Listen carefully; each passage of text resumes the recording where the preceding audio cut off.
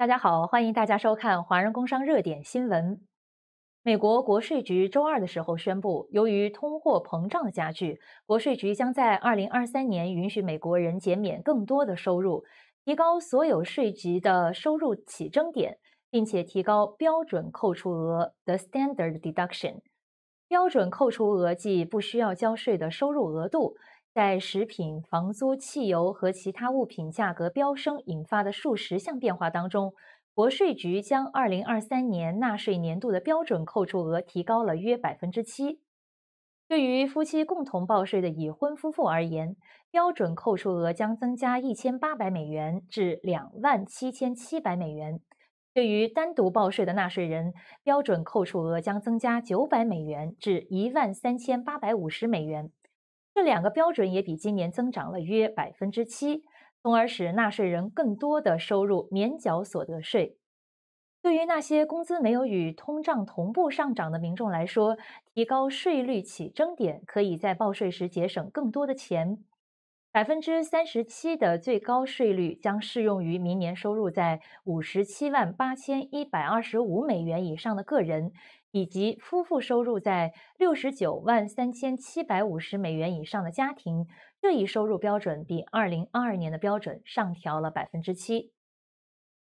房价还没有见降多少，但是美国的房贷利率还在涨。截至十十月十七号的最新消息显示，三十年房贷利率继续升高，已经高至了百分之七点六四六，是美国自二零零二年以来的最高点。在这样的利率之下，美国的房地产交易进入到了冰冻期。根据标准普尔的数据，越来越多的潜在买家不得不放弃房子的交易。八月份的现房销售量为四百八十万套，连续第七个月下降，比去年下降了约百分之十九点九。九月份的房屋销售也持续下降，这意味着美国人买房越来越难。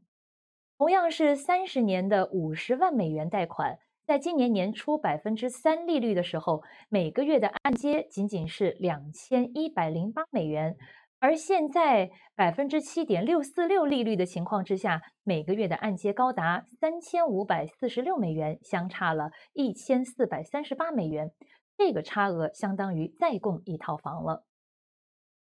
十月五号，加州通过了机动车辆数字车牌法案。正式向加州两千七百万的司机全面放开申请数字车牌。所谓的数字车牌，就是把传统的铁牌换成车牌大小的液晶显示屏，上面显示的是车子的车牌号码。数字车牌的好处就是，以后每年的年审都不用再贴纸了，只要交完费，右上角的年份会自动更新为下一年的时间。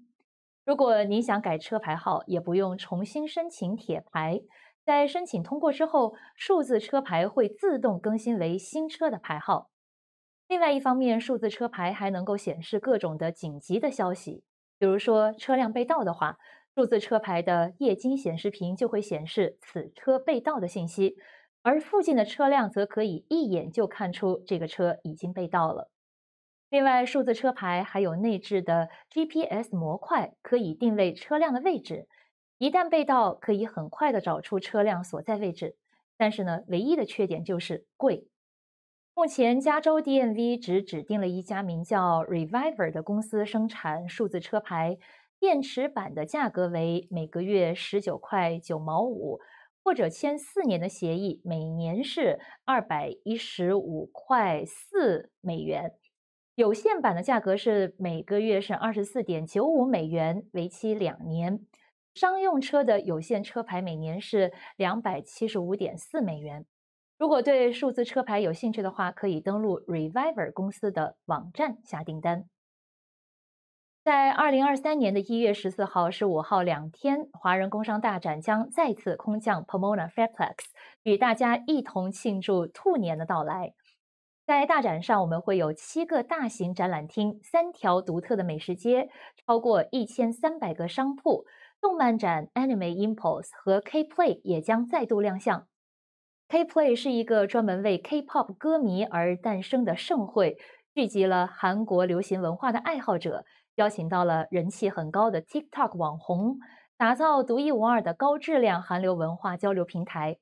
而球鞋展 Sneaker Expo 更是汇聚了众多知名品牌所提供的超高人气球鞋与服装，相信将获得许多潮流服饰爱好者的青睐。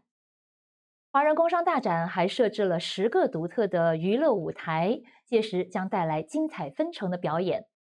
大家可以欣赏到中国的古典舞、日本太鼓、韩国传统舞蹈、巴西热辣舞蹈等等多种形式的节目。除此之外，华人工商大展还会带来万众瞩目的大胃王比赛、试驾活动、幸运大抽奖活动等等。第四十一届华人工商大展将于二零二三年的一月十四号和一月十五号隆重开幕。我们欢迎所有来宾的参加，也欢迎广大的参展商参展。参展的热线是六二六二八零八五八八。好，以上就是今天华人工商热点新闻的全部内容，感谢大家的收看，我们下期再见。